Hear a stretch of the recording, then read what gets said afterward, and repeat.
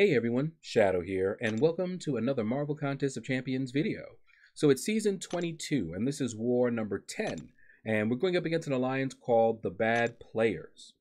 Alright, so I've scouted out my path, and I've selected my attackers.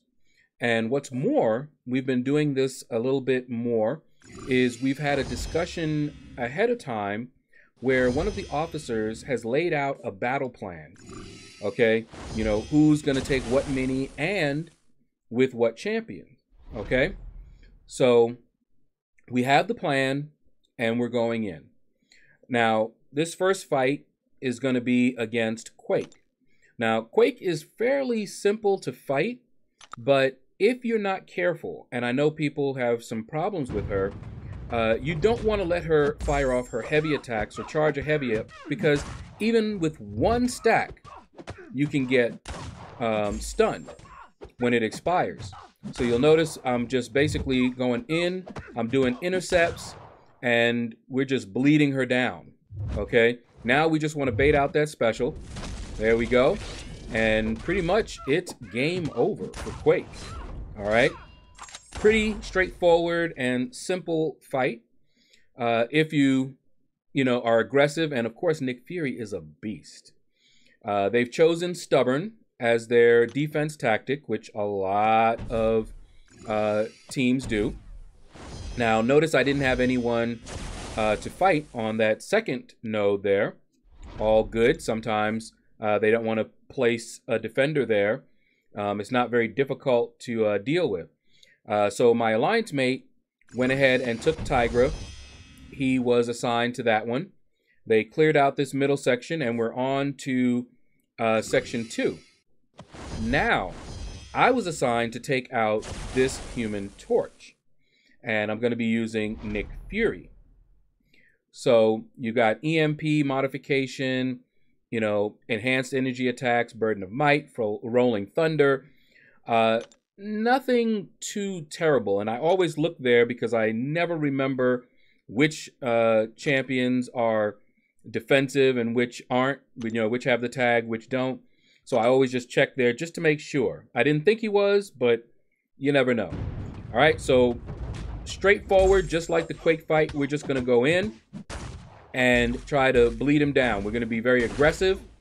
Um, now, one thing that I am going to do, as you see here, I blocked most of it, and then I evaded that last one.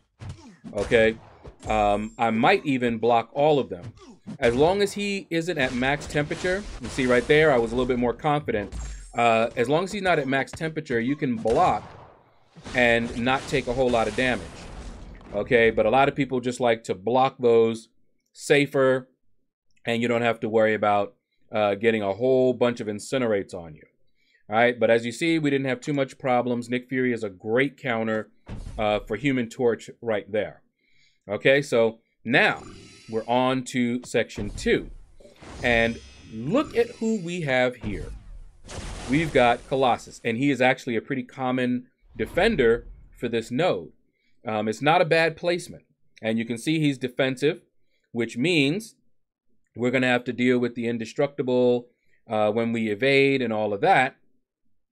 And so what I'm going to do and you'll notice I don't have Corvus. If you watched my uh, last war video, I think it was the last one, uh, we fought Colossus with Corvus, not knowing that it was a Corvus trap.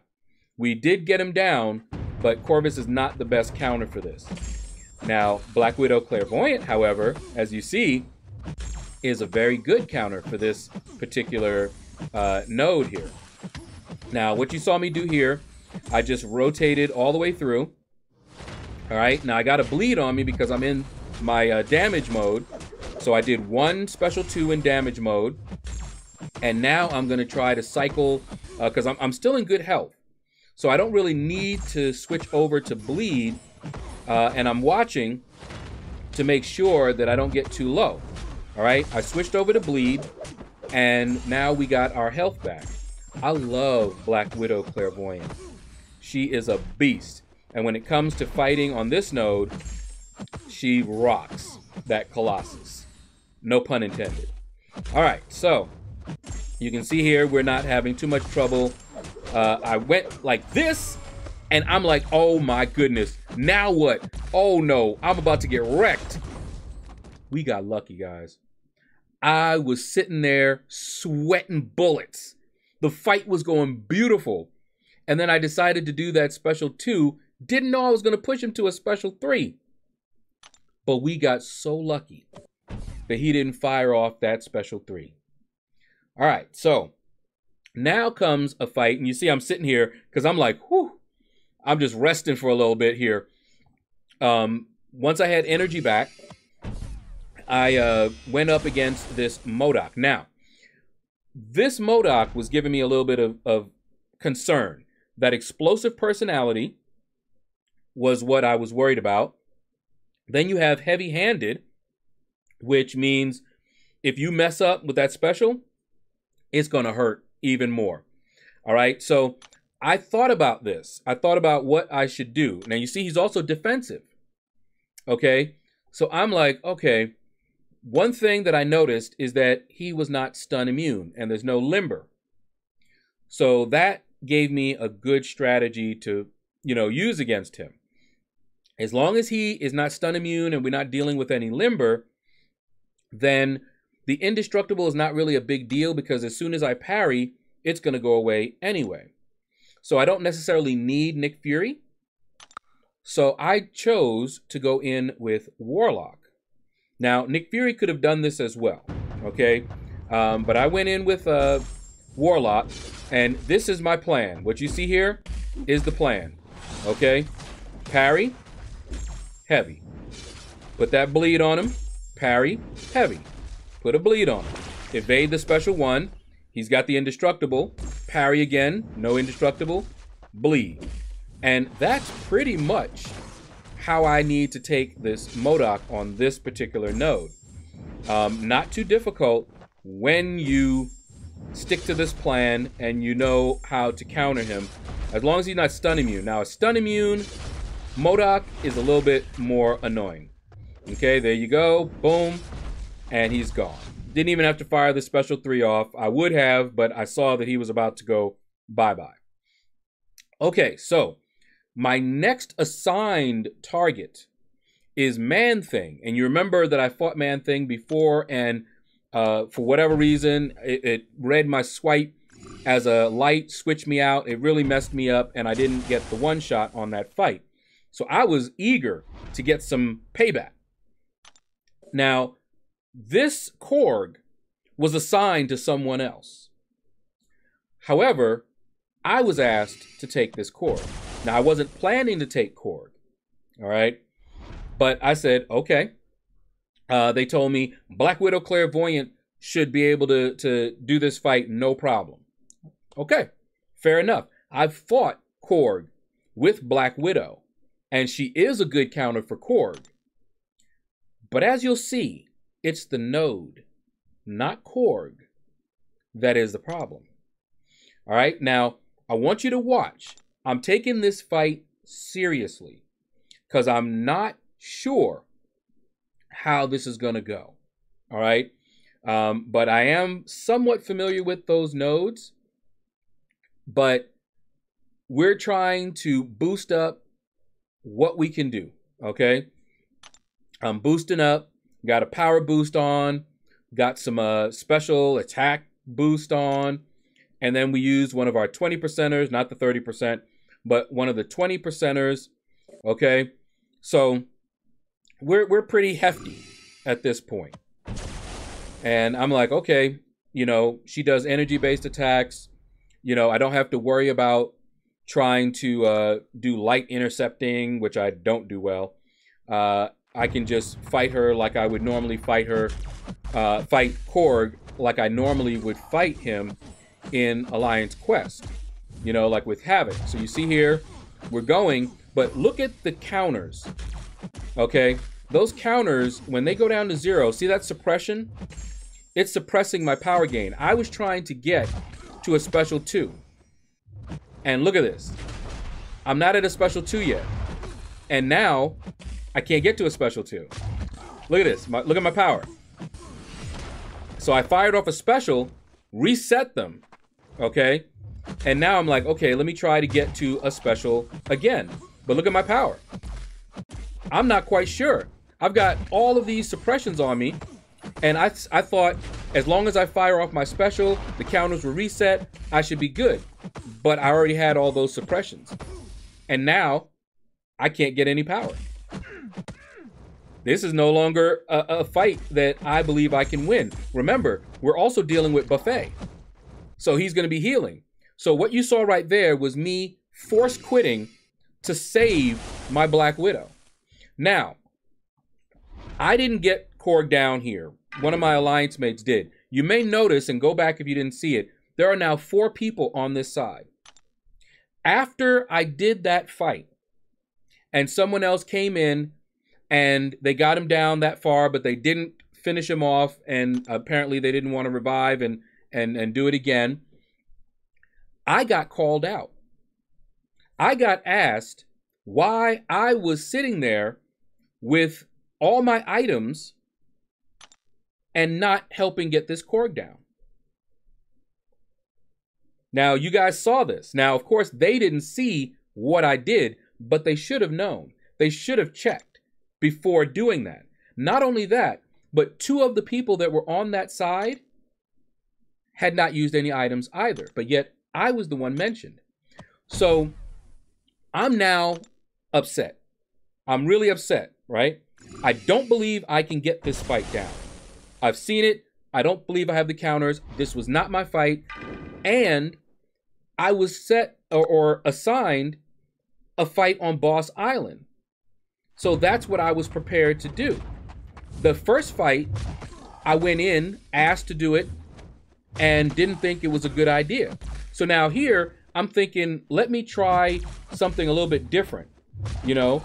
And so you'll see here, I'm not doing full five hit combos. I'm trying to see if I can only get one of the counters down and still build up to a special uh, two. But as you can see, the power, even with one counter down, I'm still not able to quite get to a special two. Okay, and now look, boom, got all of these uh, suppressions on me. And so I'm back in the same situation that I was in before. But I don't want to seem like I'm not a team player. I don't want to seem like, you know, oh, I'm just sitting there and not trying and with all these items because apparently having my items unused is a bad thing. Okay? It, it seems to be what folks are looking at. So I'm like, okay, let's go. All right. Now I want you to notice Korg's health when we started. And what you're going to see is what happened when I just basically was like, whatever. Okay. Um, let's just go ahead. I don't care. Look at his health. And I knew this. Okay. Now, uh, those of you who were uh, with me on my live stream when this war had taken place, uh, I know a couple of you asked, you know, what was wrong. You could tell that, you know, I was out of sorts. That's why. That's why I was a little out of sorts on my live stream. Uh, because, of course, I'm I'm delaying the live stream, trying to get this stuff down, trying to be a team player, help as much as I can, but yet I'm getting called out and what it seems like targeted even. And so I'm just like, okay, now I know. Now now on Boss Island, had I not done all of this, had I not been asked to just throw myself against this Korg, which others had issues with as well, I could have taken at least two minis on Boss Island. Okay, Man Thing could have gone down. There was a Domino. Warlock, I could have taken out Domino with my Warlock. And there were a couple of others. But after this, now, the other issue is that unlike folks that spend a lot of money on this game, I don't. I am free to play, cheap to play, whatever you want to call it. I don't buy these offers. I don't buy units. Therefore, when my items go down, I don't have a whole lot of ways to get more except for the units that I grind in the arena. But those units are all I have. And we just had Cyber Weekend, so I spent a ton of units that I had been saving up for just that reason. So if I'm spending units on items for Alliance War, then I won't be able to spend these units to further my account progression. Okay? So, but a lot of people don't understand that, of course. And I used up a bunch of items. Now, you saw me use up the, the few um, health potions that I had, and I can't get more. My glory was already gone. So the only way to get more health potions would have been to spend units. Now, every war, because I run suicides, every war, I switch out of suicides to place. That cost me roughly 81 units every war. So I do that. No problem at all. Um, but I don't want to spend a ton of units so that Alliance War is draining me. Now, previously, this has not been an issue. As long as, you know, we're allowed to take the fights that we you know, see we have a good counter for, and a good counter may mean just a champion, but it also may mean a good matchup as far as the summoner. You know, they may have a good counter for a particular um, fight, but they just don't do that fight very well. Like Mixmaster, when I first went up against a Mixmaster, it was horrible. But I got a little bit used to it. So it didn't matter that I had Omega Red, who was a great counter for that Korg on Mixmaster, and I did take down Korg on Mixmaster later. That was just a skill issue. So uh, this Korg here, and look at his health. Just look at his health. After all of this, look at his health. Okay. Now this Nick Fury, he could have taken down uh, a couple of uh, of the uh, minis on Boss Island as well, but I wasted him here. Okay.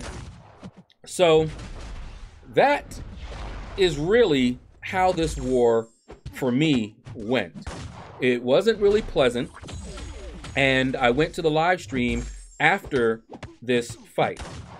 Okay. Um, fighting a champion. Now, when I asked, I told everyone what happened, right? What I got back was Black Widow should be able to take that Korg easily. All right. Now, I've taken Korg with Black Widow, and yes, she's great. But if you notice, it wasn't Korg that beat me, it was the node locking me down. One of the other guys went in, he also got locked down uh, and wasn't able to do anything. Okay? You have to have a, a proper counter. So, what I did when he said this, you know, and I'm just like, you know, already irritated. Okay. I, I didn't lash back out. I just said, okay, well, show me a video where Black Widow is taking down this Korg on this node so that I can learn. Because I've learned from videos before. And if Black Widow can take this Korg on this node, show me how so that I can learn and then I can do it next time. I'm not above learning. I'm I've never claimed to be the best fighter anywhere. Okay? But this fight really ticked me off. But it wasn't the fight itself, it was the attitude that I was getting from my alliance. Uh, some of my alliance mates. Okay. Um, I like I said, I, I was I was pretty pretty uh, tilted. And just look at this. Look at look at what I'm doing. Okay, I'm still using up these items. Now, my alliance is supposed to be, and there's, there's the last health potion. My alliance is supposed to be AQ focused. That is what they have been for the past few seasons. This type of war where um, we're going a little bit more hard, and, and just look at that. I, I was done. Okay, that was just a waste of of my items. I was just done at this point. Okay. Um, I put the game down and I told them, and that's when I was hearing what I told you about Black Widow. And I've never gotten a, a video of Black Widow taking this Korg on this node. Because, yeah, in general, Black Widow is a great counter for Korg. I've taken Korg uh, in questing and some other nodes, but on this node, I don't know how to do it. not saying that she can't do it. I don't know how to do it. So show me. Don't just tell me, show me how to do it. Okay? But in any case, let's get back and you'll find out how this war ended.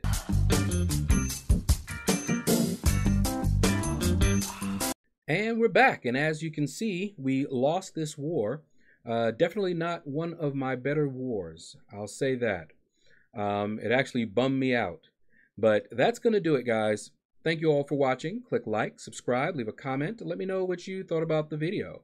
If you happen to have any tips on how I could fight that particular Korg on that node with the champions that I had, feel free to leave me a comment. Like I said, I'm always willing to learn. Uh, but take care, and you all have a blessed day.